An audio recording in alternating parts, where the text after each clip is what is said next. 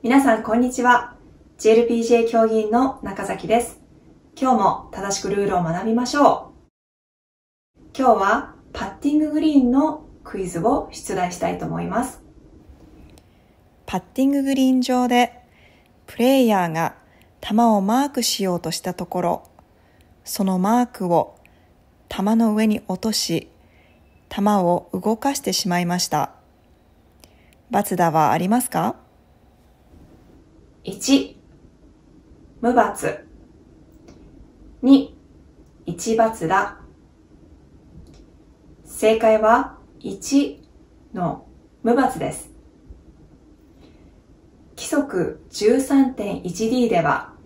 プレイヤー、相手、またはストロークプレイの別のプレイヤーが、そのプレイヤーのパッティンググリーン上の球や、ボールマーカーを偶然に動かしても罰はないとあります。偶然に動かした行動の例として、プレイヤーがストロークを行う前に、球の近くでの練習スイングや、地面にパターを置いて球にアドレスすること、クラブなどを落としてしまい、それが当たり球を動かす原因となること、うっかり球を蹴飛ばしたり、ボールマーカーを踏みつけたりして、故意ではなく球やボールマーカーを動かすこと。ボールマーカーを押さえつけた結果、クラブにボールマーカーがくっついてしまうこと。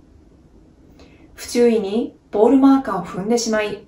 プレイヤーの靴の底にくっついてしまうことなど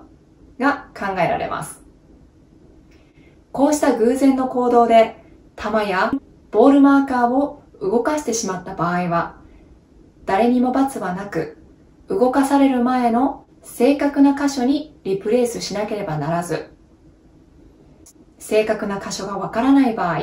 その箇所を推定しなければなりません。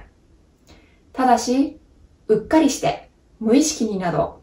球をマークせずに拾い上げたり、球をリプレイスする前にマークを拾い上げた場合は、罰がつきますので、ご注意ください。